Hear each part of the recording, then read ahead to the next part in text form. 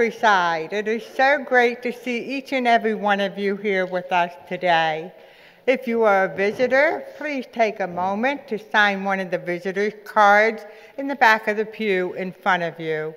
Put the tag on your lapel, and please join us afterwards for some refreshments back in Founders Hall so we can get to know you and you can get to know us. Also, too, there are black books uh, in the back of the pew in front of you. And please take a moment and sign for your attendance for today. I have a couple messages from Pastor Gary. As you know, health problems are not really to be spread or considered public knowledge. However, Pastor Gary has given me permission to let you know that he was in the hospital for eight days.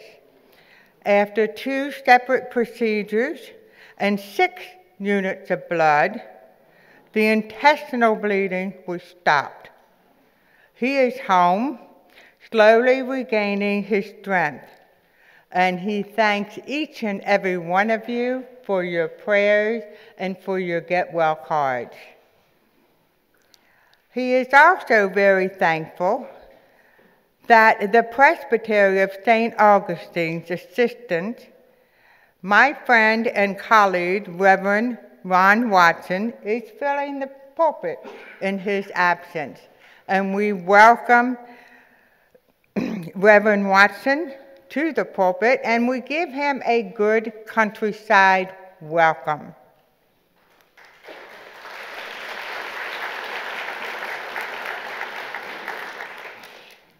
Next Sunday is Reformation Sunday, complete with the bagpiper, kirking of the tartans, and blessing of the tartans. Our sanctuary Bible will be carried by the beadle and will follow the piper into the service. Then recess with the piper, symbolizing God's holy word going out into the world. This day also marks the 17th anniversary of the new sanctuary. And please wear red. I also would like to tell you about back in Founders Hall, there are some very stunning, beautiful centerpieces. These are from the German dinner last night, and they are for sale with the money to be given to Countryside Presbyterian Church. So if those of you who are interested in having some centerpieces, new centerpieces, sprucing up your home, whether it be fall or Christmas, please take some time to look at these centerpieces because they are absolutely gorgeous. Now I would like each one of you to take a moment, look at the person next to you, shake their hand, and say good morning.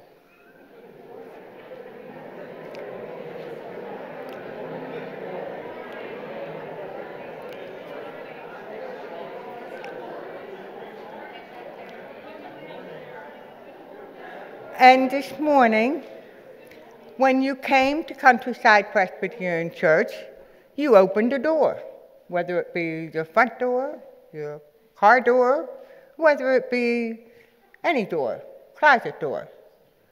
So now I want each and every one of you to know that you are prepared to be an usher at Countryside Presbyterian Church.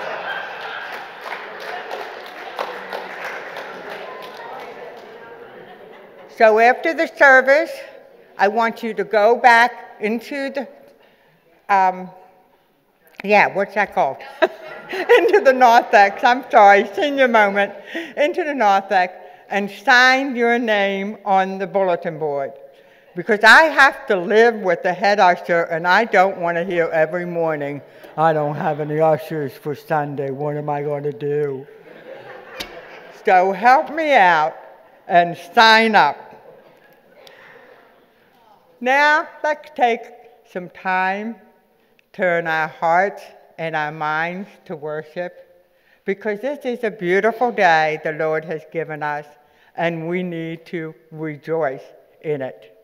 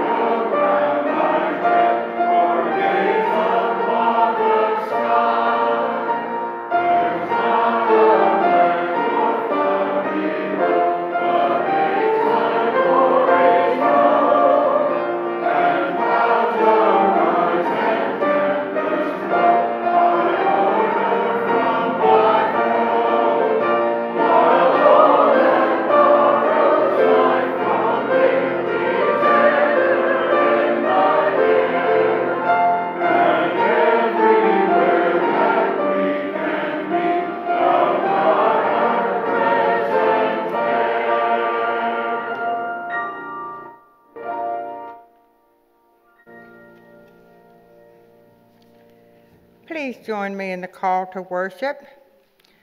Praise is due to you, O God, for you answered our prayer.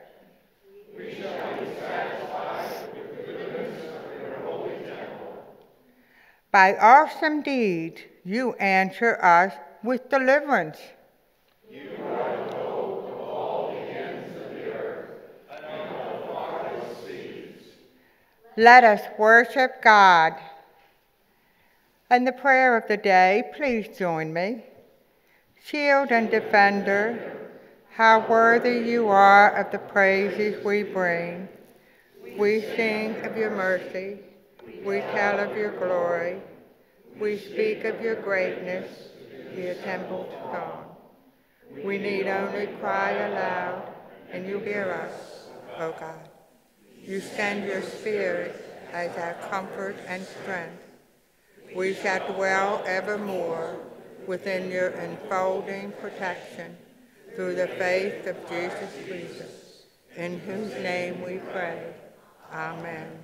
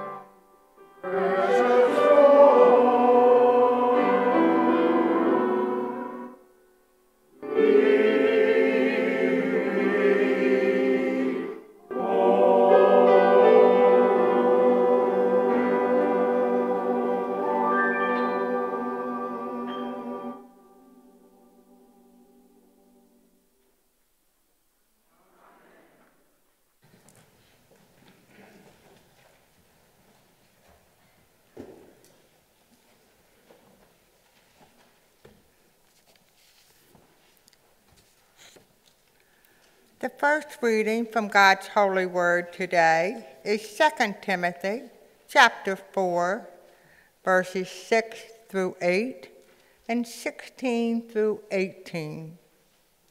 As for me, I am already being poured out as a libation, and the time of my departure has come. I have fought the good fight. I've finished the race. I have kept the faith.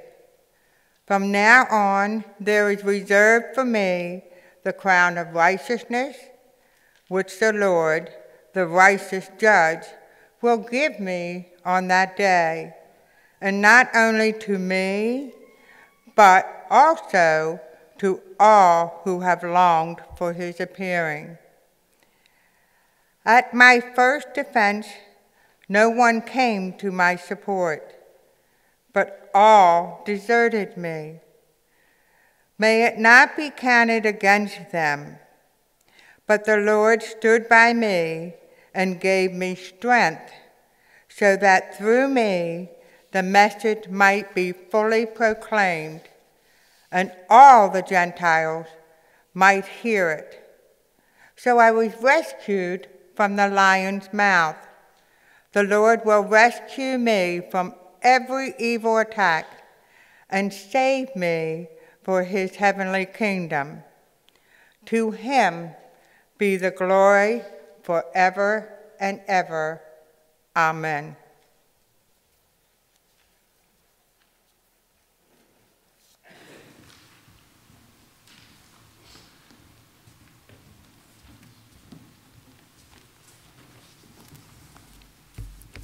When you're new in a place, you, you look and make sure it's your turn to go, and everyone is looking at you to make sure that you're telling them what to do. That, that's how church started this morning. We had a moment just like that, but thanks to you, uh, Carol, Raul, everyone, um, Gary, for inviting me back again. Glad he's on the mend. And I want to um, read to you uh, a very familiar passage, and I think we have this one today because we had a little more time to plan. This is uh, lectionary, the, both of these are lectionary passages for the day. Uh, Luke 18, 9 through 14. We preached about two women last week. Uh, it's two men this week. Very familiar passage, but a good one. Let's hear the word of God. He, that is Jesus, also told this parable to some who trusted in themselves that they were righteous and regarded others with contempt. Two men went up to the temple to pray, one a Pharisee and the other a tax collector.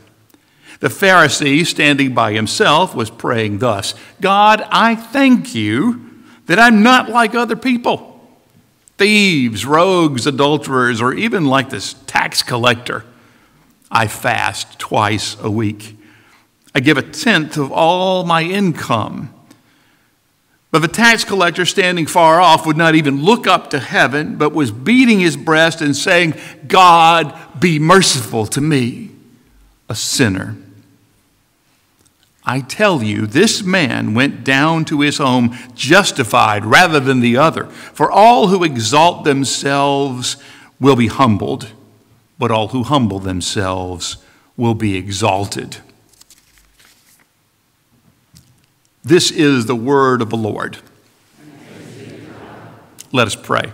Now may the words of my mouth and the meditations of all of our hearts be acceptable in your sight, O God, our strength, our rock, and our Redeemer. Amen. One of the interesting things about our, our beautiful faith is that a physical pilgrimage is not required to believe, to have a real connection with the one true God, Father, Son, and Spirit. And yet, some of us pilgrimage. That was one of those things that I didn't do for a long time, but I finally did it, and I did it twice. Anybody else gone to the temple wall? Uh, anybody who's been to Jerusalem here? Uh, anyone? Just a couple. Yeah, you've been. Others have seen pictures. It's one of those things that uh, it's like a lot of things in the world that are famous. They, they're just different when you get there. Uh, And I didn't come in today trying to measure how big, big, the temple wall is. The wall, by the way, is just a retaining wall. The Romans knocked down the whole temple around 67 AD. They go, all right, we're tired of Judaism. We're tired of all of this. They knocked the whole thing down. But the retaining wall is underneath. And if they knocked that down, then that might have been more problems than it was worth, quite frankly. And so there is this place where uh, Jewish people, Christian people too, still go and pray. It is, it's not the temple, it's just the retaining wall uh, that holds up. And, and you, you put your hands to it and you pray, and it's a massive thing.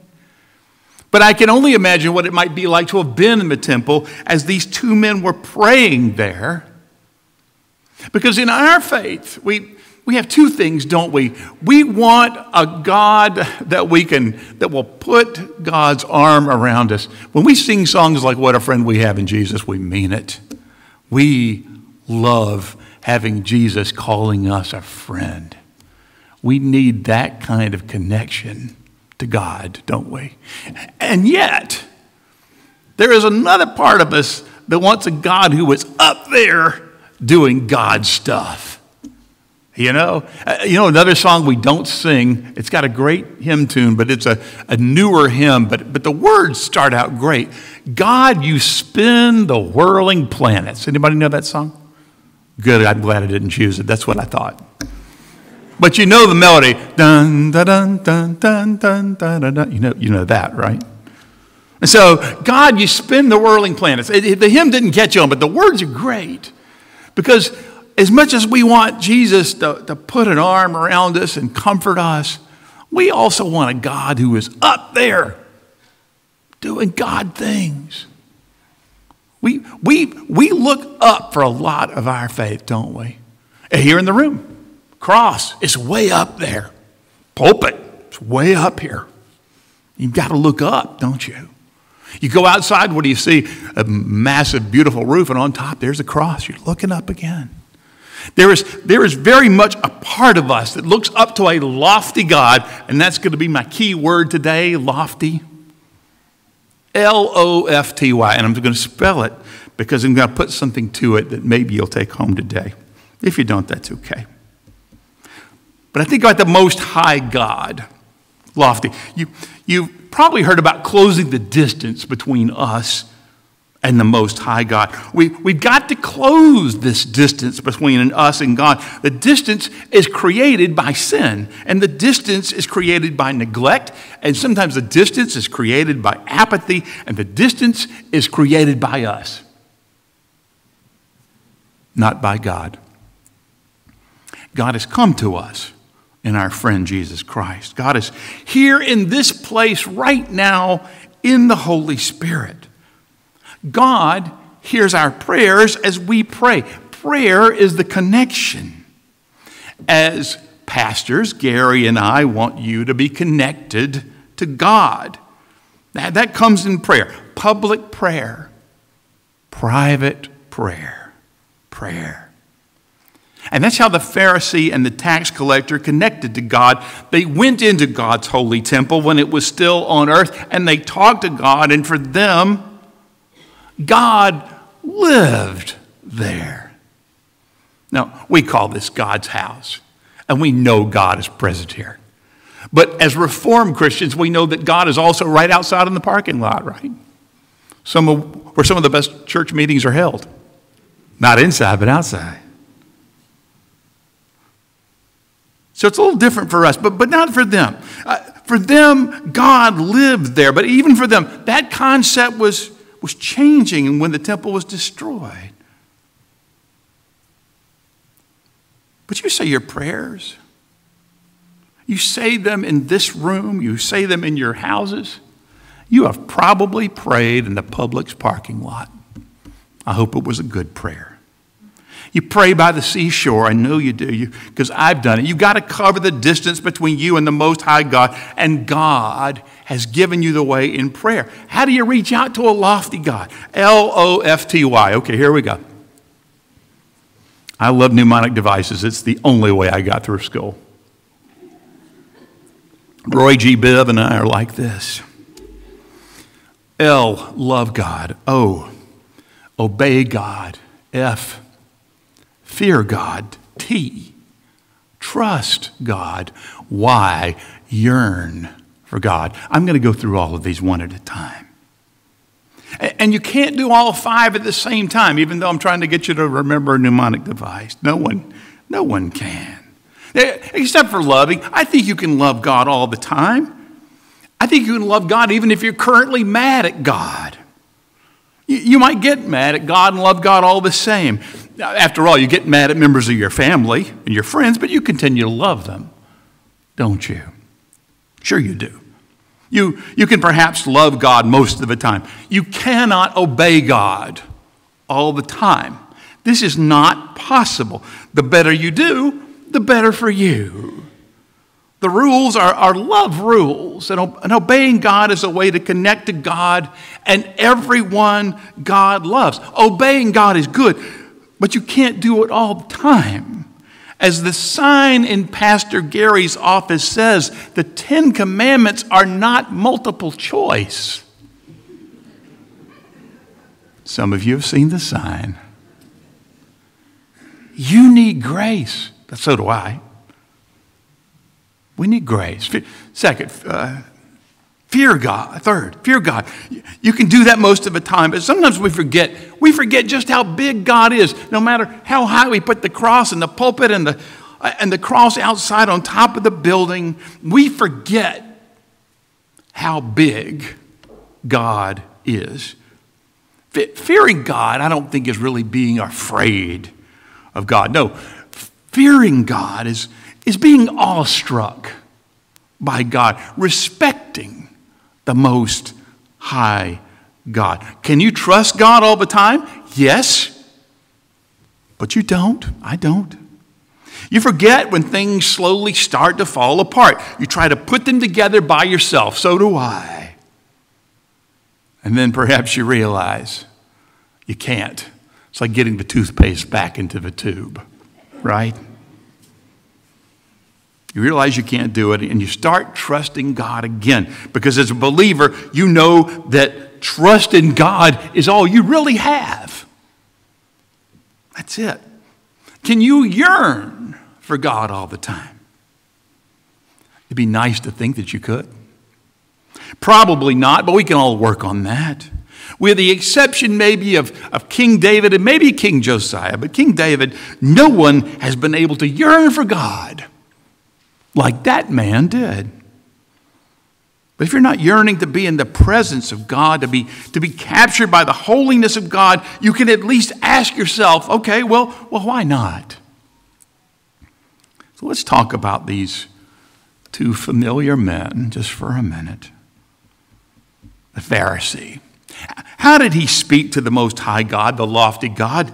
He said, God, I thank you that I am not like other people. If you've ever started a prayer this way, it was not going to a good place. God, I thank you. I'm not like other people thieves, rogues, adulterers. And then he points somebody out, or even like that tax collector over there. I fast twice a week. I don't think I've ever fasted once a week. For all of you out there who fast, good for you. I'm on your side. My fasting is basically between meals. I fast twice a week. I give a tenth of all my income. Good. He doesn't really seem to love God. He wants to obey God. But he confuses this with love, doesn't he? Perhaps he does it out of fear out of respect for God. He, he's good on O, obey, and F, fear. That's two out of five. I don't think that's going to work.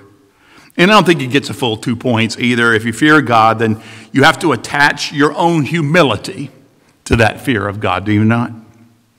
Knowing God who, is, uh, who God is means you know just how small you are. You know what's good? God loves small things.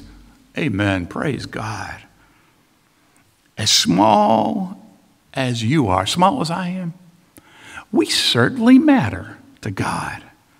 You are un- of unbelievable importance to God. I don't know why, but you are. Small as you are. But if you are not humble, then you can't check off on fearing God. So I'm going to score the Pharisee at a 1.5, just because I know we like to keep score. Obeying God, somewhat fearing God. I don't think that works. If you don't love God, if you don't trust God, if you don't yearn for God, if you're just trying to check the God boxes of life, obey and fear, I think you miss God entirely. No matter how you pray, you won't reach the lofty, most high God that way. Now, the tax collector, how did he speak to God? Standing far off. Okay, well, the flags are on that side. Got a lovely thing over there. How about that corner over there? How about that corner around the corner where there's not really anything quiet? You can't see it, but you know there's a spot there. Over there. Standing far off, he wouldn't look up. Wouldn't look up to heaven. He's beating his breast and saying, God, be merciful to me, a sinner. He stands far off. He can't seem to get all the way into the temple. He knows how high the Most High God is and how much he has fallen short of that holiness. He knows he's not good enough to be there. He doesn't know that no one really is. But he has come. He has come to pray and he prays for mercy. He prays a prayer of confession, which is so simple God, be merciful to me, a sinner. He loves the Most High God, and he seeks relationship with that prayer. Loving God is a relationship. God already loves us. You, you can't even stop that from happening. God already loves us. Our loving God is about relating to God the same way God relates to us with love. Tax collectors got that. He falls short on obeying God. He's a tax collector in need of mercy. He's taken probably more than he should on behalf of Rome. He is not extraordinary this way. Think of him maybe as a conflicted Zacchaeus prior to conversion, prior to seeing Jesus in Jericho. He is what he is. That's a tax collector. He is not obeying God, but he knows it too and confesses because he fears God. He trusts that God can make him right again. And if anyone's ever yearned for God, it was this man, the tax collector. How did he do with lofty? Well, he loved, fear, trust, yearn. That's four out of five. That's not bad. And if he didn't obey, the tax collector knows that that's an important part of the relationship. If he didn't obey, he still knows that's an important part of the relationship with God. Jesus made something clear in this story, what it means. Sometimes Jesus lets us figure things out, but he finishes this one for us. He goes, I tell you, this man went down to his home justified rather than the other. For all who exalt themselves will be humbled, but all who humble themselves will be exalted. The humbling is admitting that God is lofty, the most high God, and here we are on the ground. But God is willing to cover the distance if we love, if we obey, if we fear, if we trust, if we yearn. There will be a test at the end. I saw a sign outside a church that said, If you look down on others, then how are you going to look up to God? That's a contradiction, isn't it? This Pharisee was so full of himself, so utterly full of himself. But all of us know how easy it is to become full of ourselves. To think we have done something worthy to be counted better than others. When we work, we think we work harder than most everyone else, so we deserve a special consideration. In our relationships, we give more than our counterparts spouse, friend, sister, brother should appreciate me more. The sin of pride is to think we are better than others. I, I like this story. It's a martial arts student meeting with his master and teacher at a table, and they're having tea. And the student said to his master, I've learned all there is for you to teach me about defending myself. I want to learn one more thing now. Please teach me about the ways of God. So the master took a tea kettle, started pouring the student's cup full of tea. Soon the cup was full and began to spill over to the saucer. But the master continued to pour the tea until it spilled over the saucer and onto the floor. And the student finally said, Stop, stop, the tea's spilling over. Cup can't take anymore. And the master then looked at the student and said, You are so full of yourself. There's no room in your life for God. It is not possible for you to learn the ways of God until you learn to empty yourself. There it is.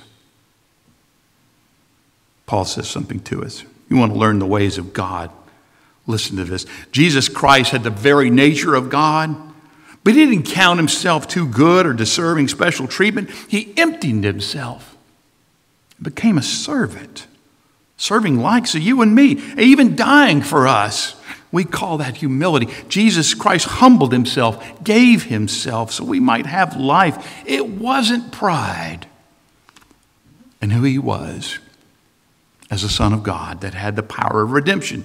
No, it was his humiliation that had the power to make things new. If you'll permit it, I'd like to close with just one more illustration because pride is such a sneaky sin that it is perhaps better known on the outside, looking in. Little girl at the circus, that tells you how old this story is, right there. Circus. What on earth is a circus? Some of you may be mature enough to remember. Little girl at the circus bought a huge cone of cotton candy. See, I could have changed that to baseball. They serve cotton candy at baseball games, but I didn't. Bought a huge cone of cotton candy. A man passing by said to her, How can a little girl like you eat so much cotton candy? And she replied, Well, mister, I'm really bigger on the inside than on the outside. Do we want to be bigger on the inside than we are on the outside? That we want to be humble, to, to give life, to make life fuller? Then have this mind among yourselves. I have been given much, not so that I might be better than others, but that I might share even that which I do have. Please pray with me. God, forgive our sin of pride. Forgive us when we make comparison and find ourselves greater when indeed we are lacking. Help us discover the path of humility. In Christ's name, amen.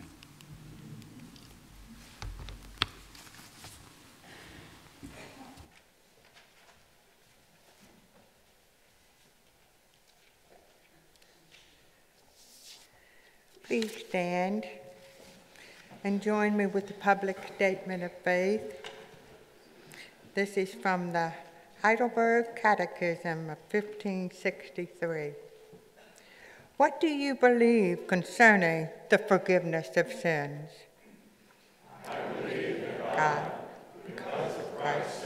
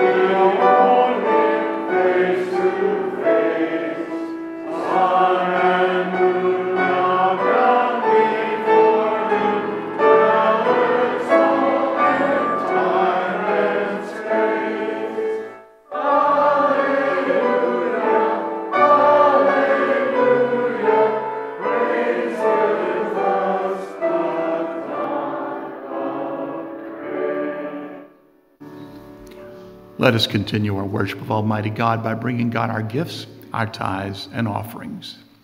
Please be seated.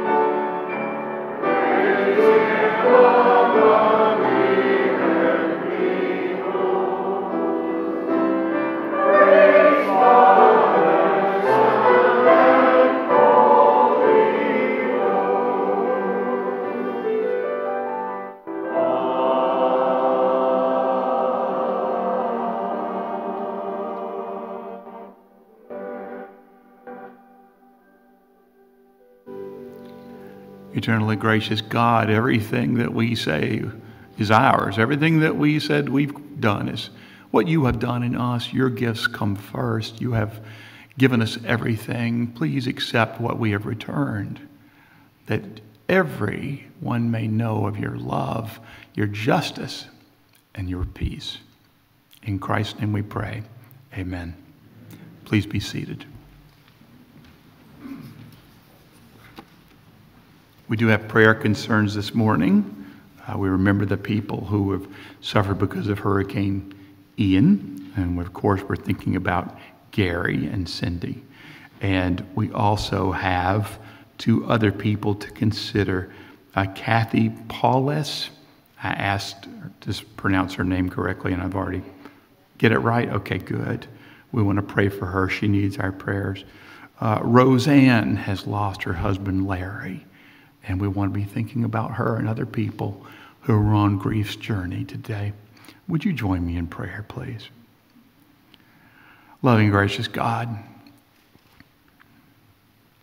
you spin the whirling planets and you make storms to cease. And we think of those people who uh, have been in the storm, especially in southwest Florida, but all over this state, and others who have been affected by the wind and the rising seas.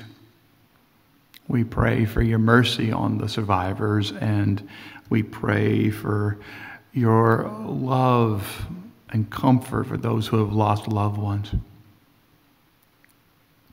We pray for Gary, and we pray that he continues to get better and to feel more of your healing power and spirit. Be with all of those who are sick, who are suffering from ailments and are hospitalized or at home, those that we know of, those only known to you. We pray for those who have chronic illness today, and we pray that even if they're not getting much relief, that they are getting the knowledge that you are with them. We pray for those who have lost loved ones uh, recently, like Roseanne, or those who have lost someone a while ago, but are still on the walk of grief. And we thank you that you make this journey with us, that we do not make that trip alone. Show us your justice and peace, O oh God, where the world is struggling, where people are fighting for their, for their freedoms, for their very lives. We pray for your divine intervention to make war cease and justice prevail.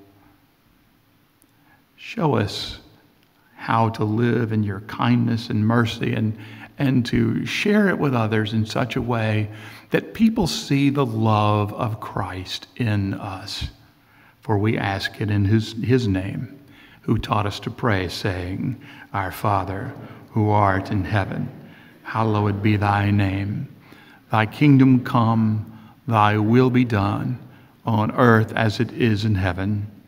Give us this day our daily bread, and forgive us our debts as we forgive our debtors. And lead us not into temptation, but deliver us from evil. For thine is the kingdom and the power and the glory forever. Amen. And now, would you please stand in body or spirit for our closing hymn?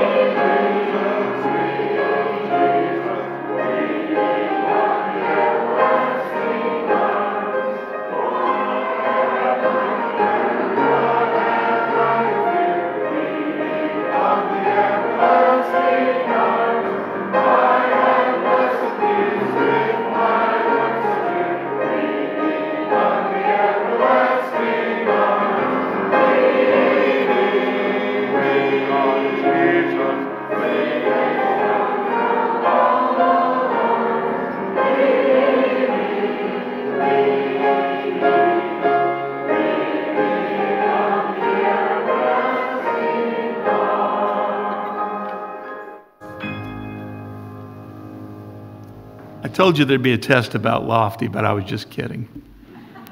But I hope there's something you can take home with that. And I hope that those stories will, will resonate for you. And uh, this will be a week where you, you humble yourself before God in in a new and beautiful way. So go in peace. And now, unto him who is able to keep you from falling and to present you blameless before the presence of his glory with rejoicing to the only God, our Savior, through Jesus Christ our Lord, be glory, majesty, dominion, and authority before all time and now and forevermore.